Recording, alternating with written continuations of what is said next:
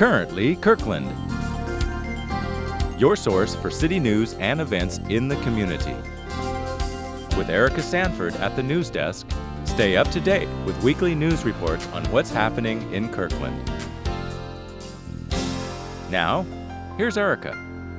Welcome to Currently Kirkland, where every week you can engage with your community by discovering the latest developments in citywide events. I'm Erica Sanford. The Lake Street Timekeeper stopped fulfilling its duty one year ago. We know this because Vince Isaacson, owner of Lake Street Diamond Company, has been staring at the clock ever since he started the jewelry store 27 years ago. He used the clock to reset customers' watches and of course, to answer a common customer question. It did keep really good time, he said. But at 1:33, we're not sure whether that's AM or PM, on November 17th of last year, the clock stopped. And for less quantifiable reasons, charm perhaps, circumstance has allowed the 76-year-old clock to stand still, when progress has forced the community around it to endure a year's worth of change. That too ended three weeks ago, when city crews brought the old clock down and some have noticed. There was a clock there before, huh? Yeah. And now it's gone? It's gone. Oh, why do you think it's gone? I have no idea. I mean, it was here in Kirkland forever, and it's gone. Well, I understood that was a donation by the uh, captain of the ferry that uh, used to be back here in the day, and uh, as a thank you to the city. The disappearance provoked one letter writer to ask, quote, is it being repaired? Didn't exactly keep good time? Or is it gone for good? It would be sad if it's the latter. I thought it was very charming. Unquote. The answer to the question is not simple. No one knows. Last month, the city's maintenance workers removed the clock for inspection at the request of a citizen. And when they opened it up to inspect the electronic timekeeping mechanism, they discovered the effect time can have on a clock. Rust had consumed so much of the clock the city's signal technicians were afraid to fix it, out of concern they'd end up damaging it even more. The maintenance team then contacted a Spokane based horologist who used photos to diagnose the clock. The good news is that the clock's crucial electronic component is still manufactured today.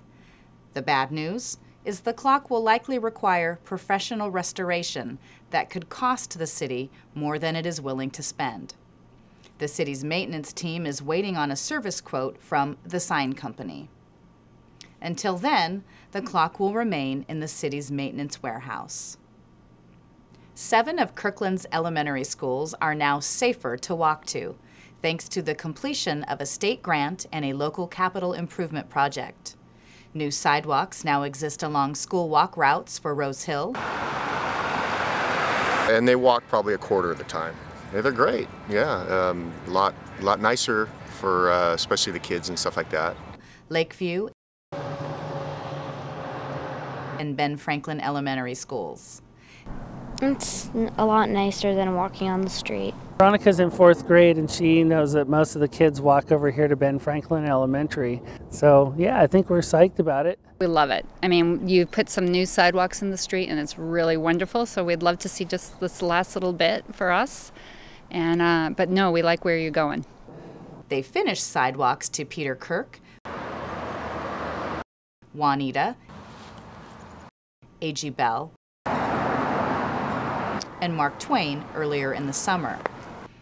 The City of Kirkland and the State of Washington collaborated on a second sidewalk route to Peter Kirk Elementary School that passes through a wetland and stream buffer zone.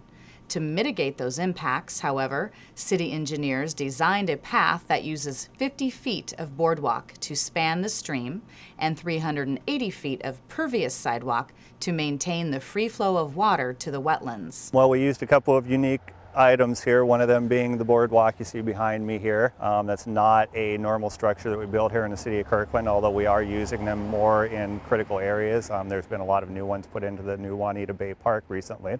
Uh, another item that we're using as part of our low impact development is the pervious sidewalk that we're standing on here. That is intended to be an open structure that allows rainwater to percolate through and reinfiltrate back into the ground. So we also included a couple other elements in this project, one of them being the grass line drainage swale here. We need somewhere for uh, water that doesn't immediately go into the ground, either from the road or from the sidewalk, to go to to find its way into our drainage system. Uh, the other thing you'll notice next to this is we also added a bit of a pervious pavement edge to the roadway here because the roadway width was substandard to begin with. We were under a constraint that we could not put any new impervious, so non-free through flowing uh, materials into this area. So we came up with the idea of using the pervious pavement also as a road pavement. So it's kind of a test that we're trying. Um, it provides the extra width and gets us to a road that meets the city standards. On top of all this, city crews removed invasive Himalayan blackberry, evergreen holly, and other non-native species from a 5,000 square foot area of the wetlands. In place of the blackberry and holly, workers planted native species such as western red cedar, Douglas fir, common snowberry, and big leaf maple trees. Part of the mitigation for impacting the existing wetland here.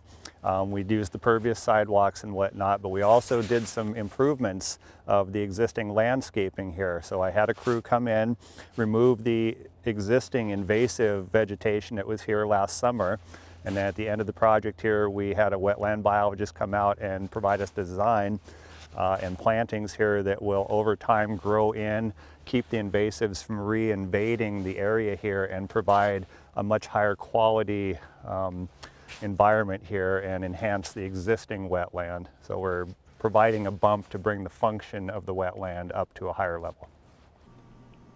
The point of the project, of course, was to better protect children on their journeys to school. To do that, however, McDonald had to find a way of protecting the environment as well. It's definitely improved the function of the wetland around here and has also improved the traffic characteristics by opening up the sight lines here and provided a safe walking route for both the neighborhood users and uh, children that are going to and from the school here. In addition to the completion of the state-funded projects, the much-needed pedestrian path along 60th Street to Ben Franklin Elementary is also complete. That project began with plans by the Central Park Tennis Club to build four more indoor tennis courts, a parking area, and a viewing area. Increasing the club's eight indoor courts to 12 will make the Central Park Tennis Club one of the nation's biggest member-owned indoor tennis facilities. But the expansion also juxtaposes the tennis club's entrance with the entrance to Ben Franklin, creating the potential for morning and afternoon traffic jams. To mitigate the congestion that could have resulted, the tennis club scheduled its court times to complement Ben Franklin's student drop-off and pickup times. The tennis club also built the path along 60th Street's north side to accommodate the many students who walk to school. Initially, the path was going to be a concrete sidewalk with a gutter and curb. This is what the Ben Franklin Parent Teachers Association wanted. And curbs, gutters, and sidewalks are the standard form of impact mitigation developers use when pursuing ambitious improvements to properties. The local equestrian groups, however, were concerned horses would slip on the concrete. Eventually, over the course of a single meeting, the equestrian groups and the Parent Teachers Association agreed on a polymer based gravel pathway that is springy and has traction for horses.